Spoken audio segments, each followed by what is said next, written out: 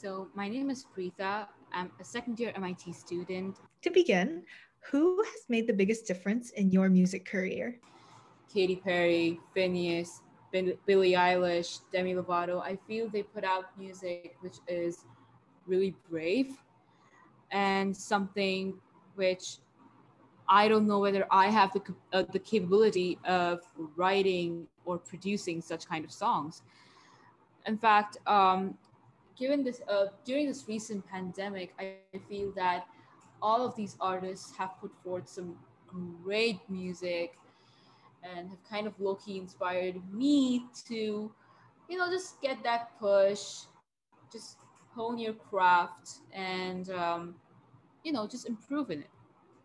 Yeah, and quite the journey. You've ended up here at Western Voice, and I guess I wanted to ask, like, what are you looking forward most most to it, especially since it's like an online kind of pandemic oriented? Yeah, definitely. I'm really excited. really excited for Western Voice.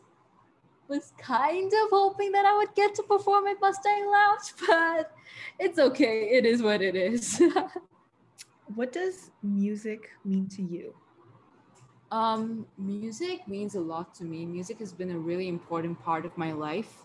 For me, it's more of a craft that I hone and I like kind of nourish it and improve upon it. It's a very nice way of putting it. So I guess if we know your what, what would you say is your why? Like why why do you want to sing? Why do you want to sing specifically like at Western Voice? I think that Western Voice is a really big platform for me where I can just show to not just the campus community, but also to um, maybe the local community of London, Ontario that, okay, here's my talent and I hope you guys like it. Um, do you have any favorite artists or genres? Currently, I'm a huge, huge, huge, huge Billie Eilish and Finneas fan.